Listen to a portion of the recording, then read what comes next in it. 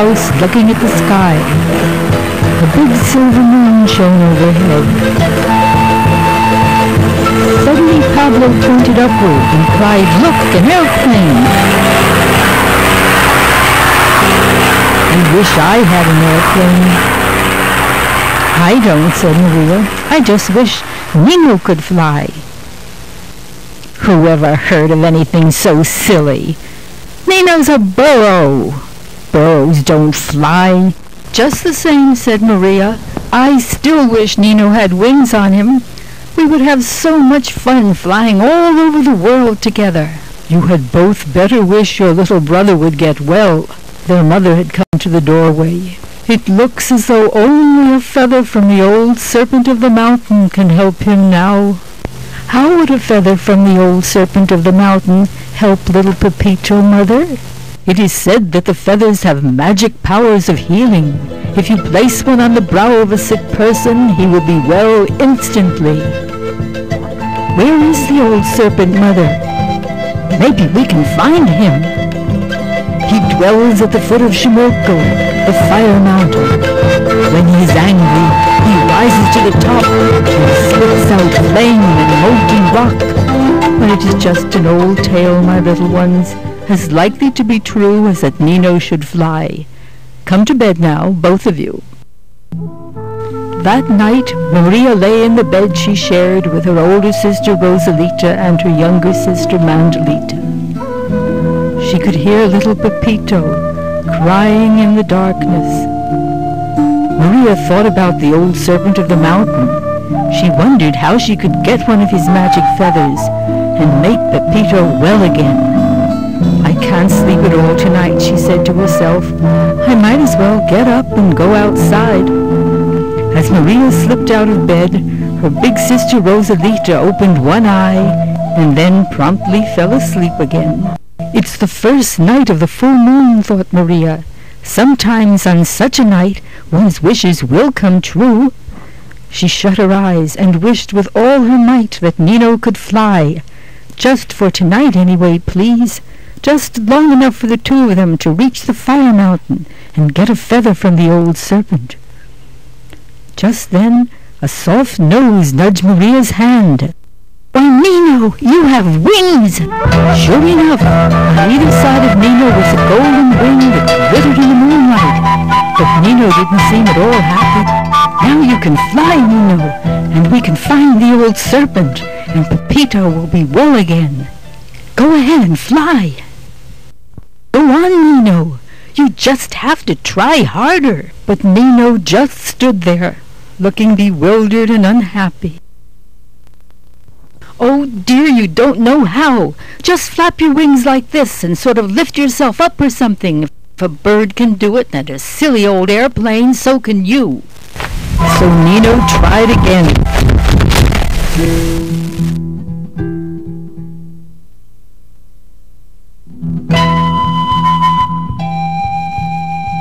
I guess I'll just have to get on your back. Maybe this time you'll be able to do it. Maria jumped onto Nino. Go ahead, Nino. Giddy up.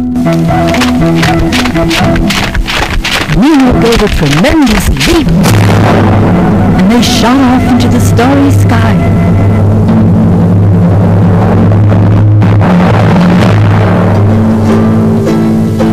First, Nino's motion was nothing at all like that of a bird or an airplane. His legs and his wings just didn't want to go together.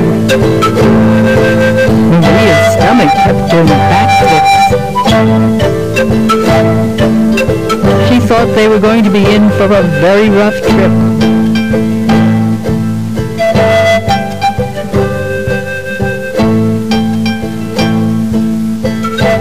After a while, the burro seemed to get the hang of things, and they flew along smoothly through the star-filled night.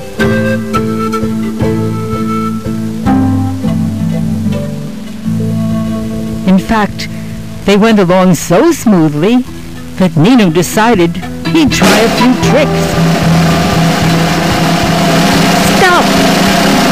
You bad burro, Maria scolded. Nino settled down They crossed the path of the moon. They flew over the village as it lay sleeping in moonlight. They flew over the bare peaks of mountains. After they had been flying for a little while, Maria realized she didn't know just where the fire mountain was. She wished she had asked her mother. Maria thought they were flying in the right direction, but she wasn't sure. Then as they flew over the ruins of an ancient temple, Maria had an idea. Her mother had told many stories of ancient times when animals talked to people and gave them wise advice. In fact, Maria's uncle Hernando had a parrot who talked. It said, Buenos dias. Nino was following the path of a river that wound its way through the forest. Nino, let's fly down. There are lots of animals there. Maybe one of them can tell us where the fire mountain is. Nino obligingly glided down, and soon they were flying over a thick curtain of trees.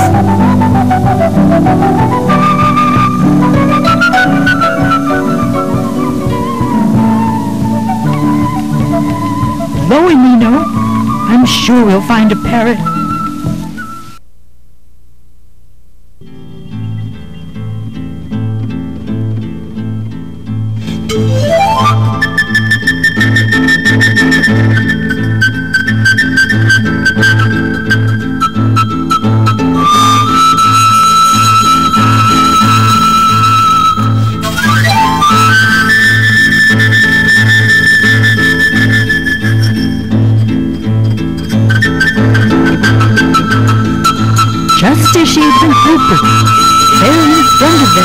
Was a parrot.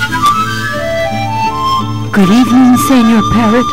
Can you tell me where the fire mountain is? asked Maria. But the parrot just made squawking noises. Maria and Nino flew deeper into the forest, and in a little while a monkey came swinging through the trees. Good evening, Senor Monkey. Can you tell me where the fire mountain is? But the monkey just answered in some strange monkey tongue. As they flew on, Maria noticed a flower in her favorite shade of pink. Oh, Nino, fly closer to the pretty flower.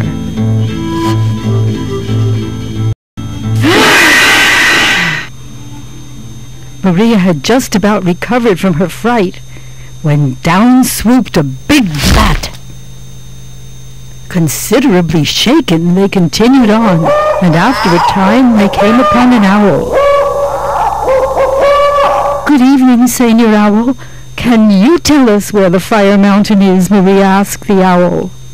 But the owl just hooted at them. Maria was beginning to feel discouraged, but they flew on. Then, gliding out of the bushes, what was that? Look out, Nino! There's an alligator! Once again they flew on. Then, sitting on a branch right in front of them, Maria saw a large spotted cat. Oh, Nino! There's a jaguar! In all of the stories her mother told, the jaguar had always been very wise and powerful. Surely he would tell them where to find the fire mountain. Good evening, most wise Senor Jaguar. Can you tell me where the fire mountain is? Maria asked. The jaguar just looked at them. He won't say anything either, Maria thought. But then the jaguar lifted his paw and pointed to the west. Oh, thank you, Senor Jaguar. Jaguar answered with a low growl, and Maria and Nino flew on and up through the trees and out of the forest. They flew on through the night, and then they saw something coming towards them. Why, it's Pablo's old airplane, Maria cried. It's coming right at us. The pilot was amazed. He couldn't believe his eyes. He had never seen a little girl on a flying burro before. Look out! Nino turned right, left, right, right, left. They were about to collide. Nino dived down and the plane went up. I must stop making these long night flights, the pilot sighed as he flew away. That was a close one, Nino, she said as they continued on.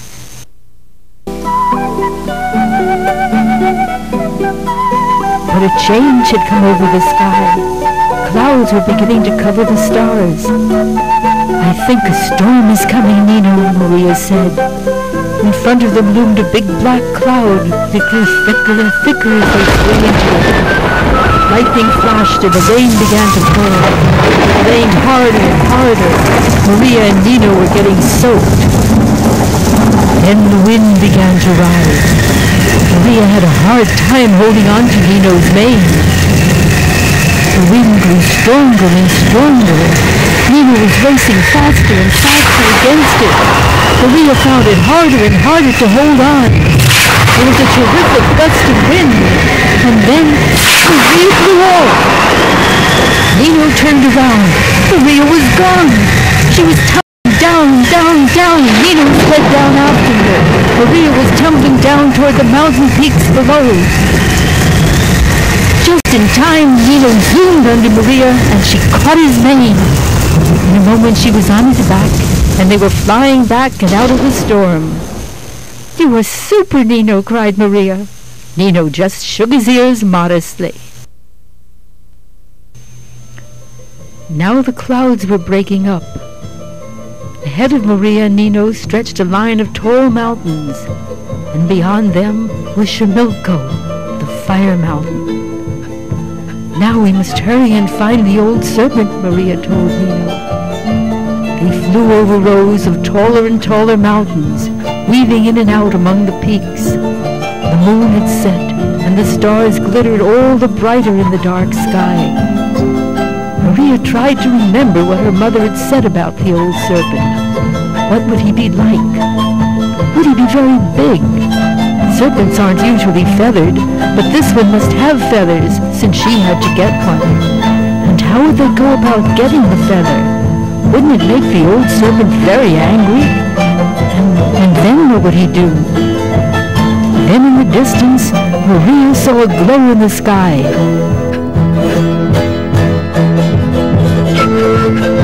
They were nearing the fire mountain.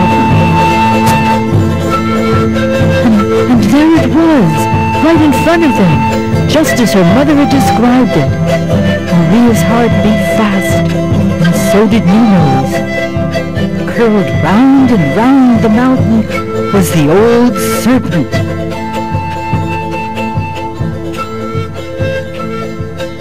His teeth are awfully big, Nino. Maria looked at the serpent and gulped. We just have to get that feather, Nino, or Pepito won't get well again. Let's go. And down they started.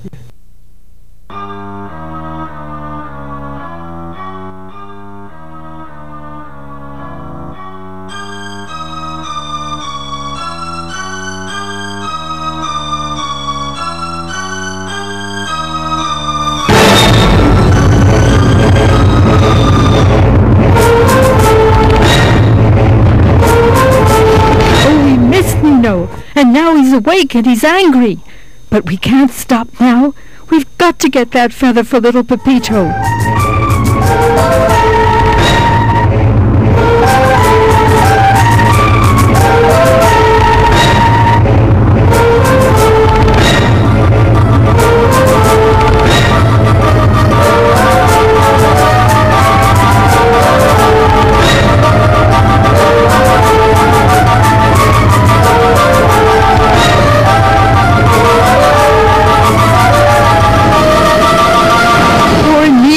Just about worn out, and so was Maria. But the old serpent was still whirling around. Nino was so tired he could barely flap his wings. It looked as though they would never get that feather now. Then Maria stared. The old serpent was all tangled up, and he looked pretty tired too. Look, Nino, he's tied himself into a knot. Now's our chance. We must hurry. He could get free at any moment. Once again they started down. Faster, faster, Nino! Faster, faster! It looks as though he's getting loose. And then they had it. They had the feather.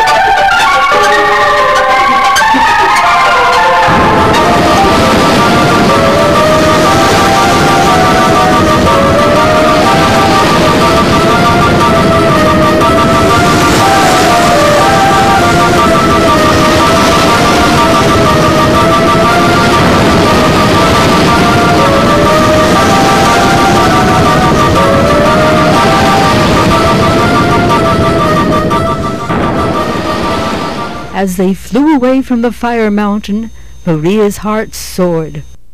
They had done it. They had the feather. I hope we didn't hurt the old serpent, Maria said, but I'm sure his feather will grow back again. Once again they were flying past the mountains. But this time they were heading home.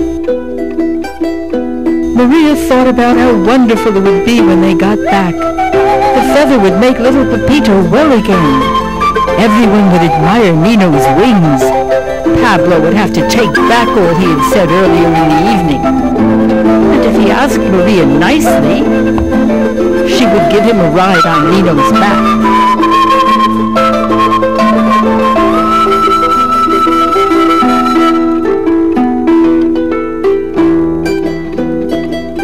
Now they were skimming the treetops above the forest. Soon they followed back along the river, and then once again they were over mountains. The ancient temple passed beneath them, and they flew over more mountains. In a little while, they would be over the village. And soon they would see their house again. Sure enough, Nino, were almost home.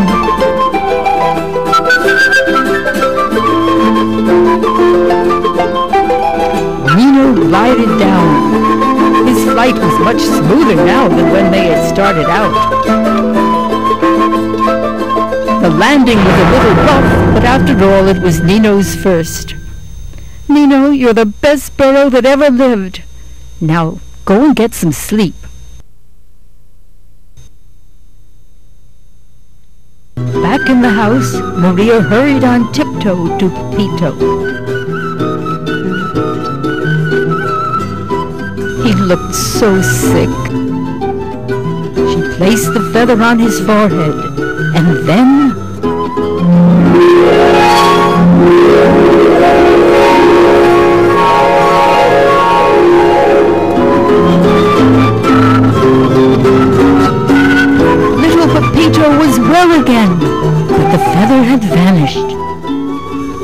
little Pepito. Sleep tight.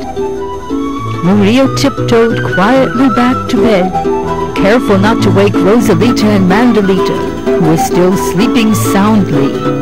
She thought about all that had happened. Then she shut her eyes, and in a moment she was fast asleep. While Maria slept, the night sky faded into daylight.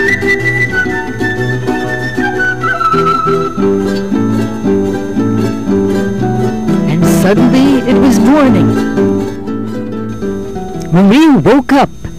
She could hear voices talking and laughing outside the window. She threw on her clothes, and in a minute she was in the doorway. Her whole family was there. Her mother smiled and called out, Good morning, little sleepyhead. During the night a wonderful thing happened. Little Pepito is well again. Uncle Hernando and Aunt Carmen smiled at Maria also, and Sancho their parrot called out, Buenos dias! Buenos dias! Aunt Carmen spoke up in her usual bossy way. It was my herbal potion that cured him. I told your mother if she gave some to Pepito, the baby would be well. Uncle Hernando disagreed. I think it was the medicine Dr. Solano prescribed, he said. That's what did the trick. Maria could keep still no longer. You're both wrong, she cried. It was the feather that did it. Last night, Nino and I got the feather from the old serpent, and I put it on little Pepito's forehead. That's what made him well. It was the feather. Rosalita broke in. What are you talking about? You've been dreaming. You never stirred from under the covers. You were sleeping so sound last night that you didn't even wake up when Mandolita and I got out of bed this morning. No, no, cried Maria. Nino and I flew to the fire mountain and she proceeded to tell all about the night's adventures. When she had finished speaking, Maria looked around her. Nobody said a word. They didn't believe her. As everyone looked at her, Maria felt as though she were getting smaller and smaller and smaller. They thought she had made it all up. There you go again, scoffed Pablo, talking about flying on Nino, just like you did last night. You're really crazy, Maria. And Carmen chimed in, You should not make up stories like that, young lady. Uncle Hernando added his voice. You have an overactive imagination, my child. Maybe someday you will write stories. It was a dream, little one, said Maria's father. There was a big storm last night, and the sound of the thunder must have colored your dream. Maria's mother added her voice. And also last night the fire mountain erupted. You could hear the rumbling in the distance. It was very loud. Only Mandolita seemed to believe Maria, asking, Did you really fly away last night, Maria? Yes, yes, I did, cried Maria, and I'll prove it to you. I'll get Nino, and when you see his wings, you'll see.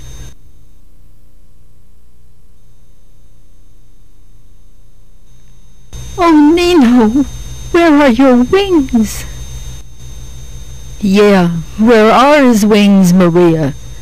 Pablo had followed Maria, and now he was standing there. So tell me what happened to the famous wings. I don't see even a single feather on Nino. Maria didn't know what to say. Could it really have been just a dream? Then Nino stood up, and Pablo gave a shout. Maria, look at Nino's tail! The boy's heart gave a great leap. It wasn't a dream after all. Nino's tail was singed.